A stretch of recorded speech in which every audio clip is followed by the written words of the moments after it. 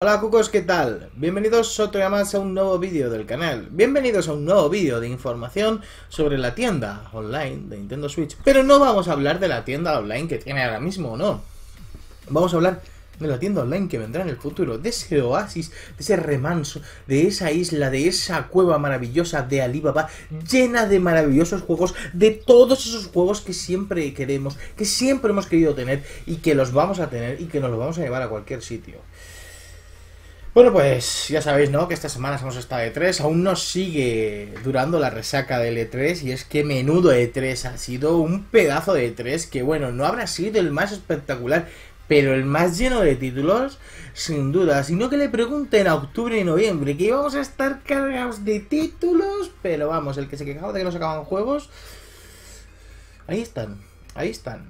Bueno, Después del E3 le preguntaron a Riggy, Riggy Films, ¿sabéis quién es? El presidente de Nintendo América. Le preguntaron, bueno, le preguntaron pues por la tienda, por la tienda de, de Switch, por la tienda que va a llegar a Switch. Vale.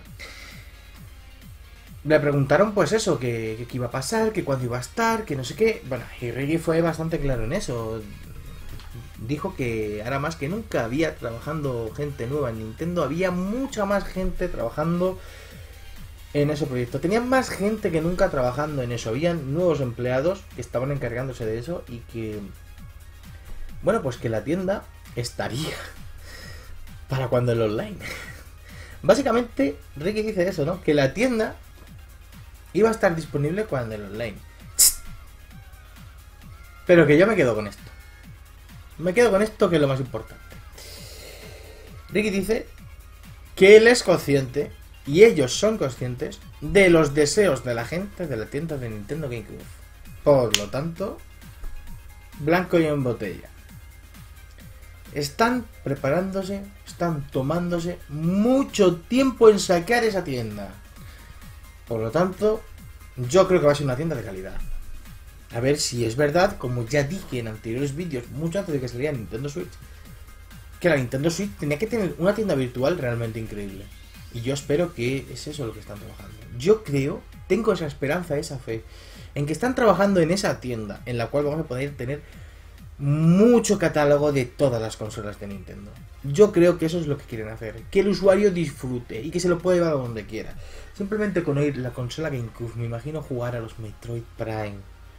Me imagino jugar al Mario Sunshine o al Twilight Princess. El Wind Waker original incluso muchos más juegos, muchos más juegos. El Sonic Adventure 2 Battle. Es que hay tantos títulos en GameCube que podemos disfrutar en Switch. Pero ojo, no con ports. Estoy hablando de títulos de hace ya un montón de tiempo. Estoy hablando en la tienda.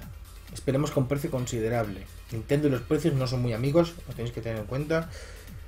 Pero la posibilidad de llevarte un juego así, portátil, donde tú quieras, jugarlo cuando quieras, como quieras, esa posibilidad es abrumadora. Es realmente increíble. Según Riggy, la vamos a tener disponible a partir de cuando esté en online. En 2018. Yo creo que, que bueno, bajo mi opinión personal, pienso que sí, si están tardando tanto tiempo, porque podrían haber puesto ya algo. Si están tardando de verdad tanto tiempo en esto, es porque realmente yo creo que va a merecer la pena. Estamos hablando de una consola que va a hacer poco, va a hacer dentro de poco cuatro meses de vida. Y se le ha anunciado ya un catálogo bastante tocho. Se le está anunciando este online. Se le está anunciando esta tienda. Yo no sé qué es lo que están preparando, si realmente van a tener mejoras gráficas de esos videojuegos. No sé cómo lo están haciendo. Pero lo que sí parece estar claro es que, bueno, a no ser que cambien de planes, según ha dicho Ricky, la tienda online va a estar disponible el día del online. El día que el online sea de pago, la tienda va a estar. Y va a estar completísimo. Por esa frase que ha dicho de Nintendo GameCube. Y si ya nos ponemos a pensar en esto, pensaremos, está la de Wii U. Muchos de vosotros me habéis incluso criticado en algunos vídeos, pero es que no se puede hacer. ¿Cómo que no? ¿Cómo que no? El Gamepad se puede hacer una actualización que sea compatible con la Switch. Y el Gamepad se vende suelto. No, pero es que tú tenías que comprar un Gamepad a posta. Ya, pero si te compras un Gamepad a posta y los juegos están más baratos, pues al final incluso te sale a cuenta. te sale a cuenta. Que no te vendan otra vez 55 euros el mismo juego. Que te lo vendan a 20. Pero no lo van a hacer. La, el catálogo de Wii U no va a estar en la, en la tienda. No va a estar. Y el de Wii no lo sé. El de Wii es tan simple como que pongan compatibles los, los mandos, incluso los Joy-Con, ¿no? Podrían valer perfectamente para los, para los de Wii. Esa es más, más candidata, ¿no? A que esté.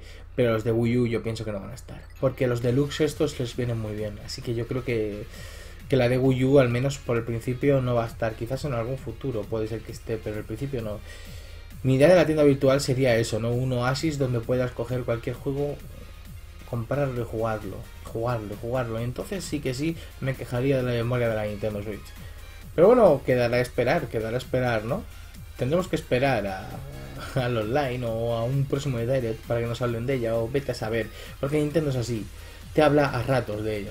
Nada más, cucos, que nos vemos aquí en el siguiente vídeo, que muchísimas gracias, que podéis dejar vuestra opinión ahí en la caja de comentarios, que para eso se inventó la caja de comentarios, pero eso sí, simple con respeto y educación, ¿vale? Igual que intento hablar yo.